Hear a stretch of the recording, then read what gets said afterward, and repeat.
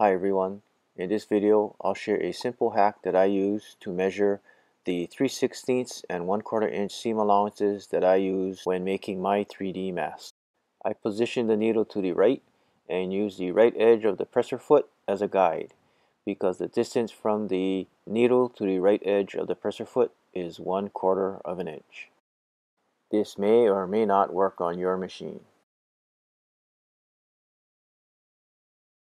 And I use the inside groove of the presser foot as a guide for the 3 16 inch seam allowance because the distance from the inside groove to the needle is 3 16 of an inch.